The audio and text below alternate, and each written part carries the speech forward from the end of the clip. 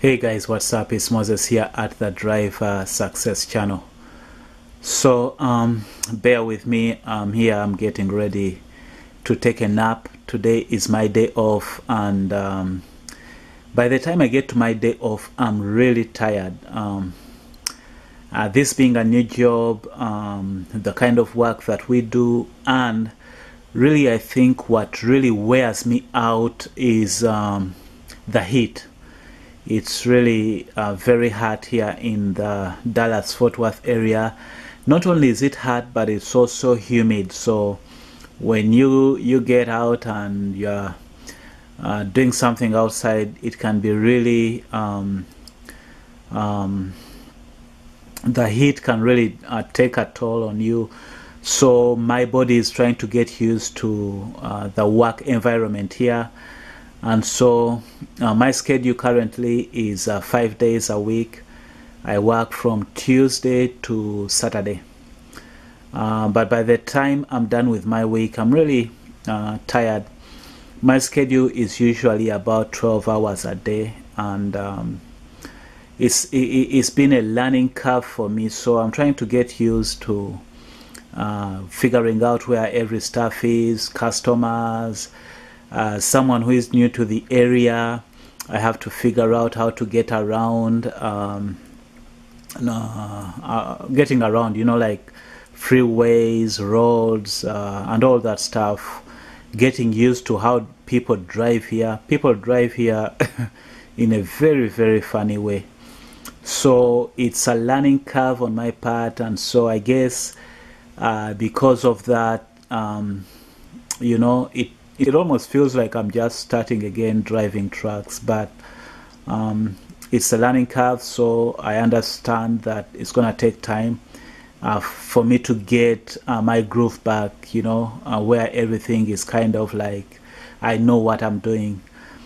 But what I wanted to do today is just kind of, I know from the last video, mm. you already know that I work for JB Hunt, and you already know I've gone through my orientation. I'm already, you know, um, uh, by myself.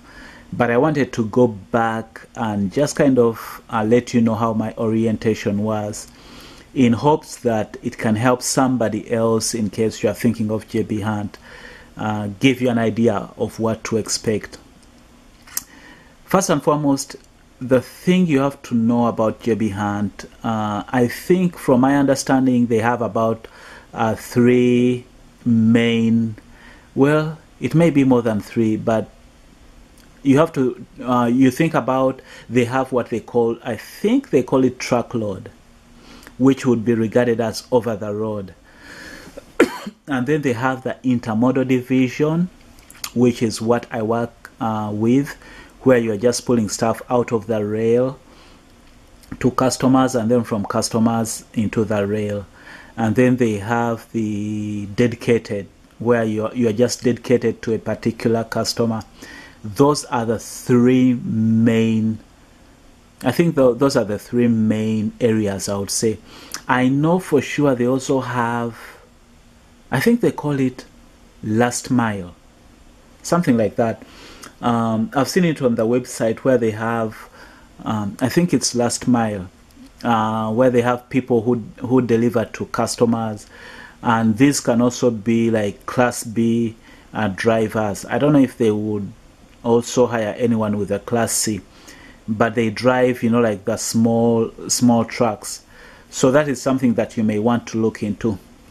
But as i've said i work for the uh, intermodal division and that's what i can really uh, give you an idea of what to expect of or of how the orientation was or how things are uh, i'm sure um, most of the information you may want about jb hunt you can find on uh, the website or if you see a JB Hunt driver you can ask them.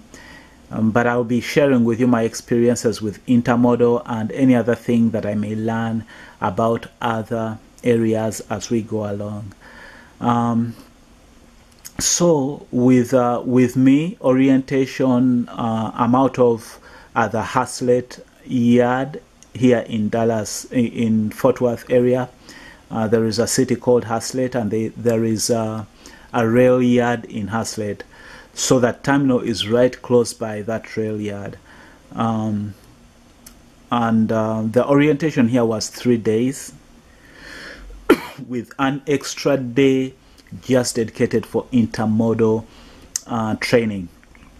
So for the three days, the way it was supposed to go, um, when we got there the very first day, our orientation was beginning at 7 o'clock. Most of us were local drivers, which meant we really didn't have anyone, you know, like using the hotel. We all were driving from home. Um, I know if you are in other areas, they would, and maybe you are far from home, they would get you a hotel, and then you would be uh, um, getting a shuttle from the hotel to the orientation site. But our orientation would begin at 7 o'clock. When we got there, the person that was doing the orientation came from Dallas. Uh, there is a terminal in Dallas.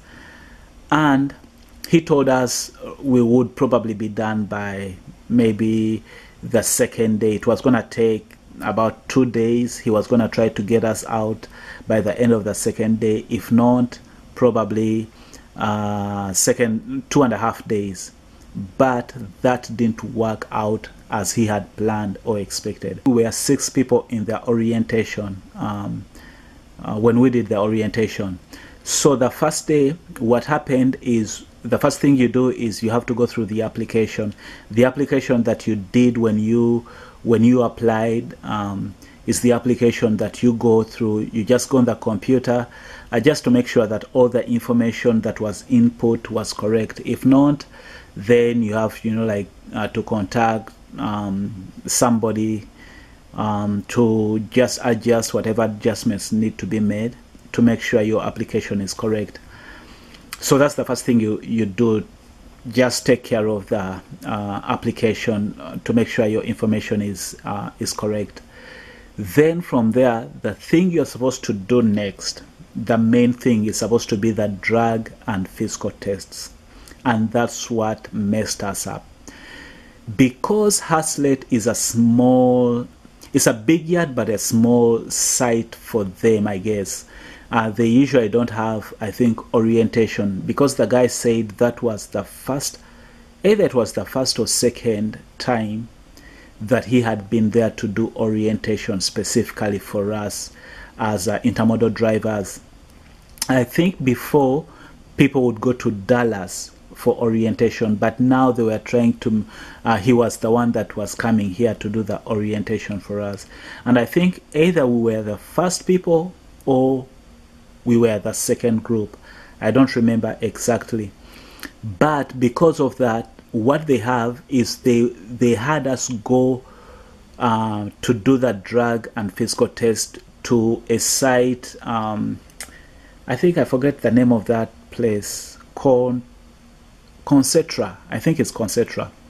So we had to go there to do the um, the drug and physical test and that's where we got messed up because we got there like at 10 a.m. and we left that place at 5 p.m. because they were not it looks like they were not ready for us. Uh, we were just six of us but I don't know what went wrong.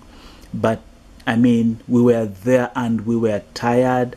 Uh, the guy who was doing the orientation had to bring our lunch to us while we were there waiting. That's what really messed us up. So the first day, all we were we really did was um, the drug and physical, and um, by the end of that day, we lost two of of the people to again to high blood pressure.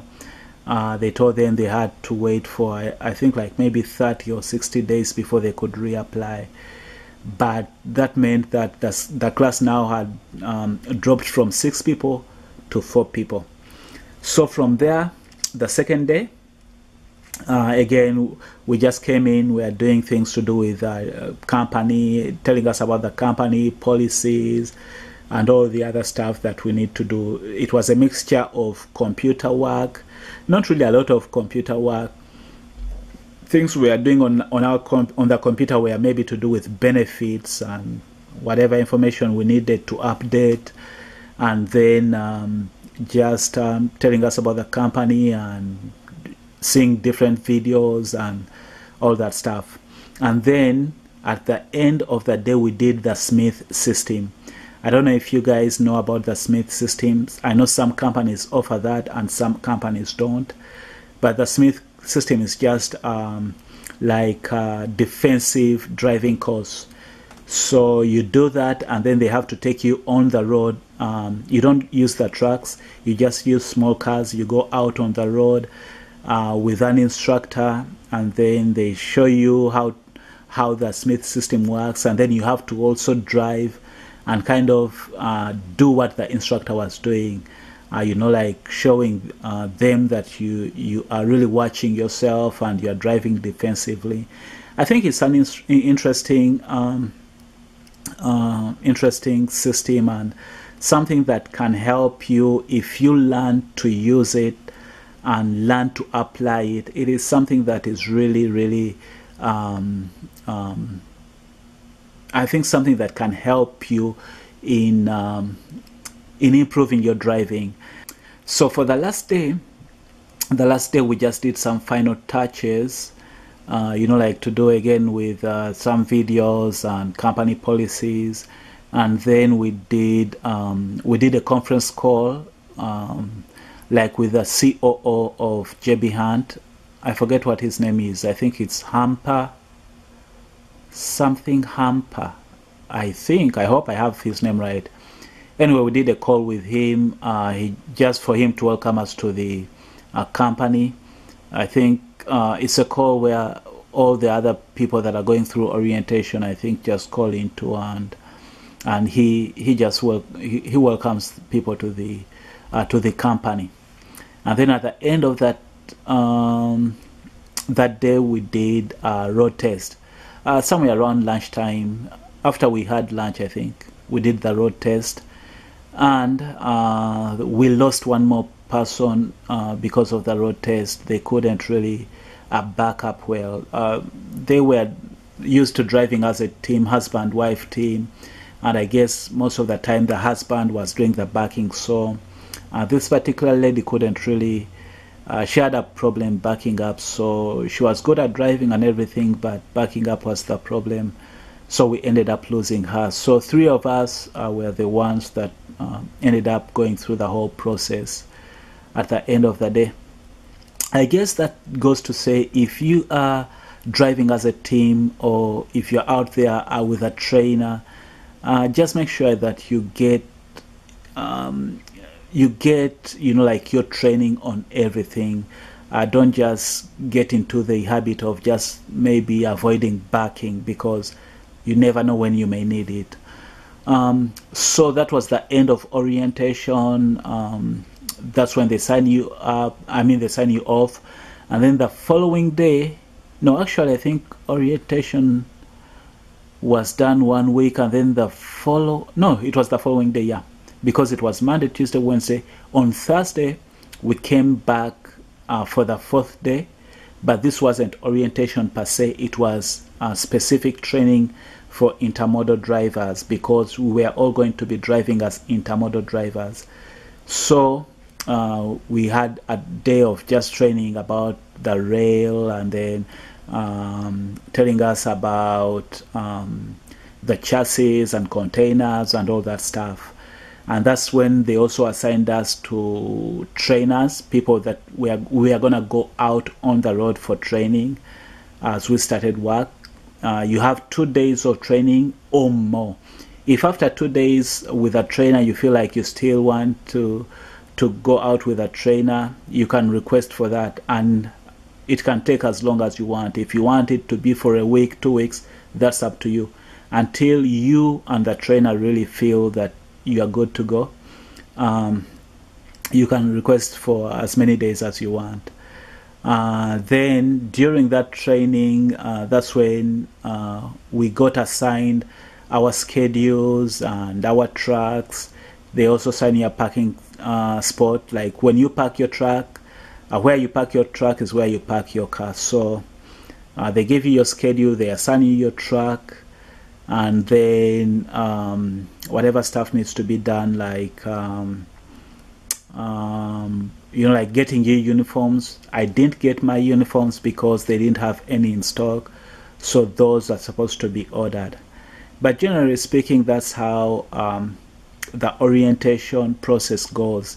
Uh, it's a three-day orientation. For us as intermodal drivers we have an we had an extra day and then they assign you to a trainer the other thing I'll say also for intermodal they have both local and regional driving positions and I guess that goes also for um, maybe the dedicated uh, part most of the uh, of the most of the positions JB Hunt has uh, positions to do with intermodal and I mean positions to do with local and regional driving. So most of the time, uh, most of their jobs, you should be home at least uh, maybe on the weekends or uh, you should be home every maybe five or six days, most of the jobs unless you want to stay out on the road. So I hope that helps uh, anyone out there that is interested in JB Hunt or joining or you have questions. Again, um, I'll be doing my best to to just show you and share with you the things that are happening here at JB Hunt as I get to know uh, JB Hunt more and more and as I uh, as I go through my work I'll share with you things but I just wanted to share with you today how the orientation was and the process that you may have to go through. It's a simple process. You do the application and then after that you go for orientation. If you go through the orientation, they put you with a, um, a trainer. Then after that, you are on your own. And um, But that doesn't mean you can't ask questions. You can always ask questions as you go. All right, guys, until next time, stay blessed and stay safe. Bye bye.